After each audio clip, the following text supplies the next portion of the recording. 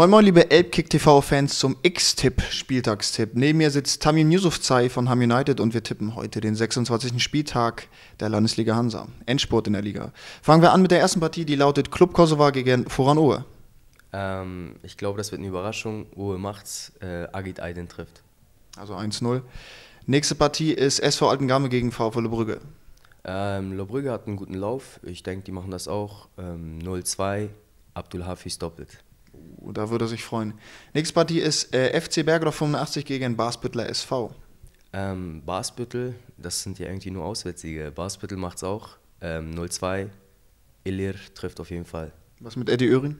Eddie Ören macht auch eins. Ja, alles klar. Nächste Partie ist äh, SCVM gegen Desmispor, dein alter Verein. Ja, SCVM, ähm, ich hoffe, dass sie nicht absteigen, aber ich glaube, gegen Delsim wird es ein bisschen schwerer.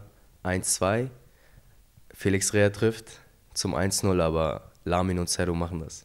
Das wäre eine Überraschung mit Felix Rea. Nächste Partie ist Kroatia gegen FC Elasikspor. Ähm, Ellersich 0-2. Kennst du irgendwen da? Ähm, ja. Oder zu viele Leute? Zu viele, aber ich weiß gar nicht da, wer genau. Ich hoffe, Herbert trifft, wenn er spielt. Ja, Fatih Gürel kann auch knipsen. Ja. Schauen wir mal, wer trifft. Nächste Partie ist SC Schwarzenbeek gegen Bramfelder SV. Ähm, ich denke, das wird ein 2-2. Ähm, keine Spieler bekannt. Keine Spieler bekannt. Aber jetzt bei der entscheidenden Partie ist Vorwärts Wacker Bild steht auch äh, dein alter Club gegen Ham United. Wie geht das Spiel aus? Ähm, das wird ein Sieg für uns, 0-3. Einmal Sunti, einmal Chris und einmal Ludin. Und du nicht? Nee, ich bin kein Knipser. Alles klar, danke dir.